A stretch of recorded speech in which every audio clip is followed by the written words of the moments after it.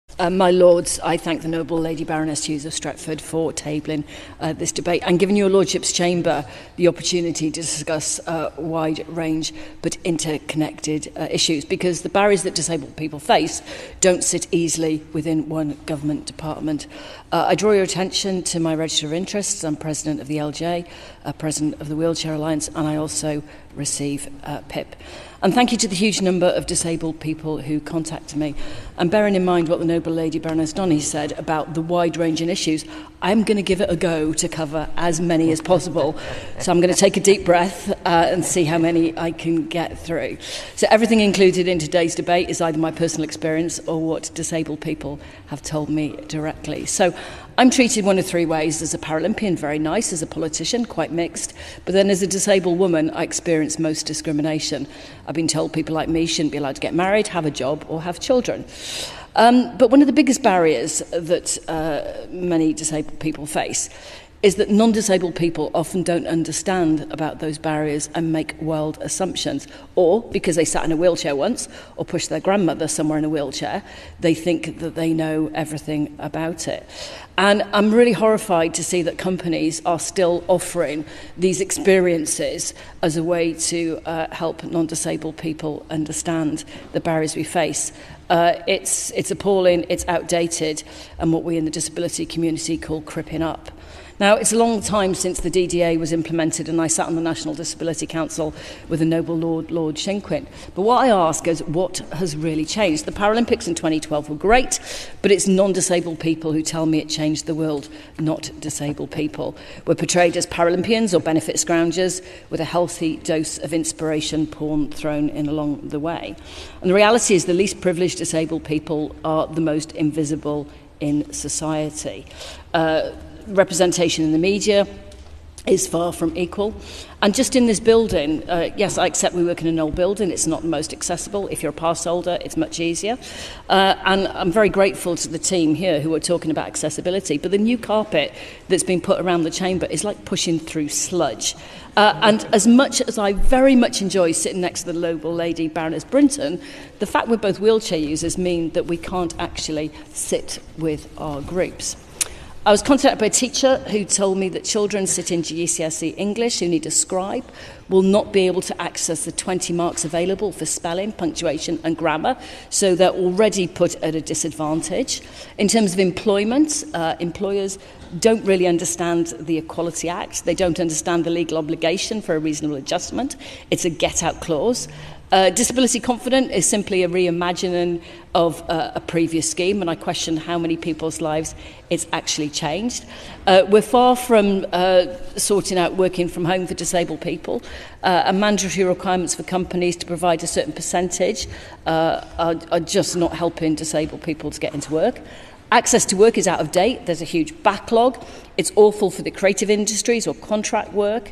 Uh, and changing the definition of disability uh, to expand it, while helpful for some people, uh, just means that companies are able to get away with not employing more disabled people. And one company told me that only 50% of disabled people who can work are in work. Their target for employing disabled people only had to be 10%.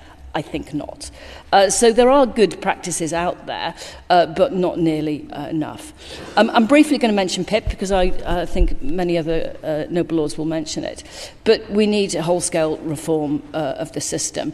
Uh, I know when I was filling in the forms, we were pages in before uh, it, it was asking the best medical professional who could explain my impairment. There aren't any because I'm not sick.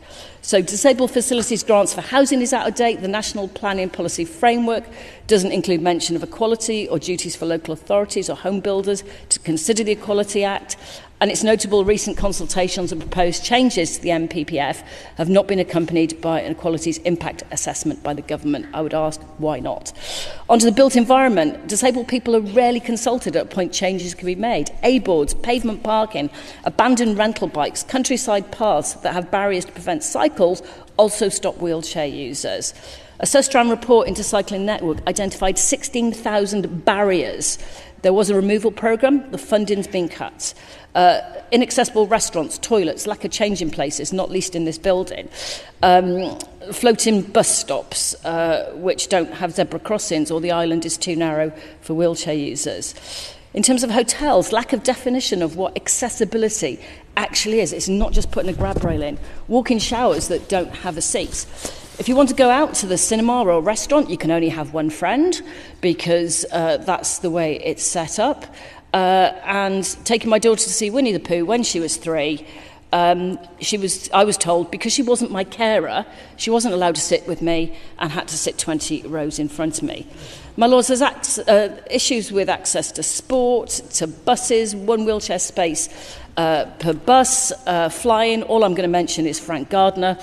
Um, and I'm briefly going to mention uh, trains. So trains were meant to be step-free by January the 1st, 2020.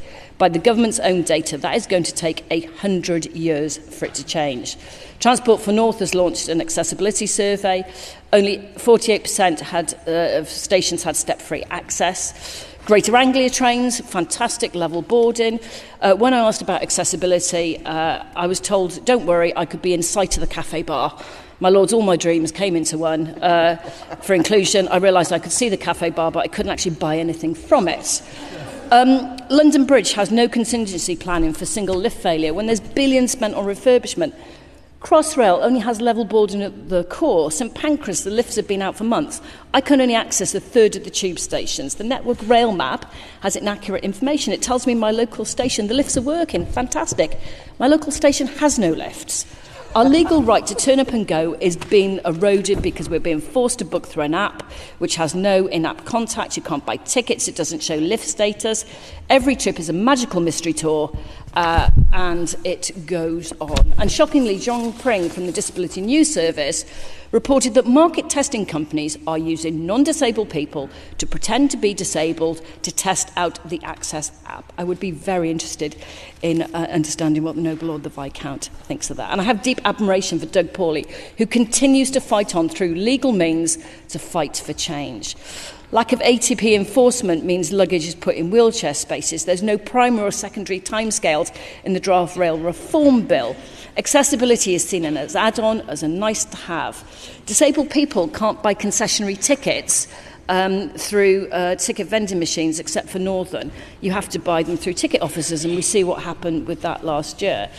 ScotRail um, haven't changed their ATP, so mobility scooter users are not allowed to travel on Scottish trains. You can get there by Avanti or LNER, but you might not be able to get home.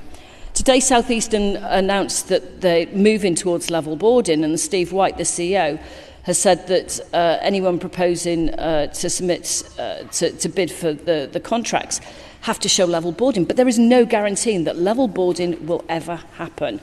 And Tony Jennings wrote to me and said his nearest station uh, you can't turn up and go outside staffed hours